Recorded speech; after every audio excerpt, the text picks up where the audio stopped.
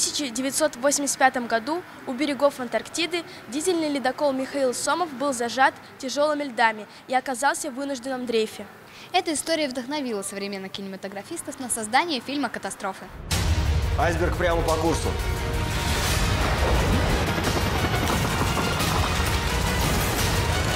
Всем с палубы в укрытие!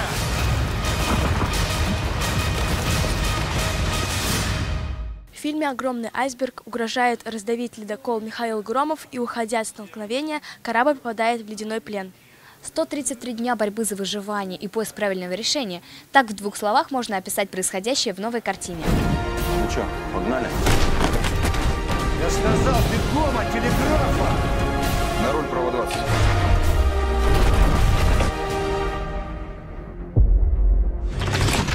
допустим, вы попали в Антарктиду, вас замкнуло льдами, и не факт, что вы оттуда выберетесь, и как вы будете себя вести в этой ситуации. Каждый приблизительно перенесся и проверил, а как бы я поступил. Вот, мне кажется, с этой точки зрения это может быть интересно.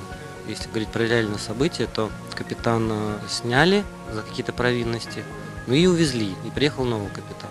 Мы решили, что интереснее будет, что его не увезли. И тогда что произойдет, если старый капитан есть и новый капитан?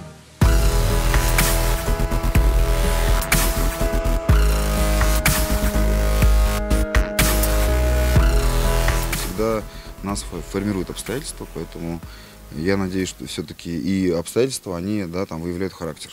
Поэтому наша история про характеры, и там один злой, другой плохой, но это не важно. Не важно, какой ты есть, важно, как ты поступишь.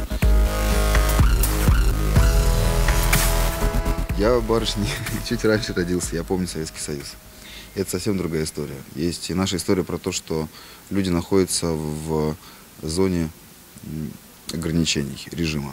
Людям э, запретили выжить, и людям приказали сохранить железку. Ты можешь выжить, но тебе запрещают. Я думаю, нам надо вместе решать, как отсюда выбраться. Я решу. Я читала, что в юности вы служили на флоте. Как это вам помогло при съемках на фильме? Ну, конечно, помогло, потому что знание этой жизни, его, ее уклада, людей, которые этим занимаются, конечно, как-то повлияли на меня, чтобы не, не подвести их работу и службу. Мне кажется, что всем надо посмотреть, и парням молодым, потому что, мне кажется, привлекательность по таких профессий, как военные моряки, космонавты, военные, все те, на чьих плечах держится это государство, привлекательность вот такой жизни должна быть э, точно заявлена, вот, как в этой картине. Я сажаю смотри! Я знаю, что вы общались э, с настоящим капитаном корабля Михаил Сомов. Какое впечатление он на вас произвел? Он ну, потрясающий человек, Валентин Филиппович Роченко, капитан Михаила Сомова, это герой Советского Союза. Когда вы посмотрели готовый результат фильма, вам что-то хотелось исправить? Да, очень много. Но это не потому, что что-то плохо, а потому что слушаешь и смотришь и думаешь, может быть, здесь можно было еще добавить. Но в какой-то момент надо остановиться, сказать, все, я отпускаю этот фильм, и пусть он как есть, так и есть. Конечно, в фильме многое придумано, но это только для того, чтобы было интереснее смотреть. Да и к тому же это художественный фильм, а не документальный. Первыми увидели ледокол Олеся Андронова Я Ирина Жукова.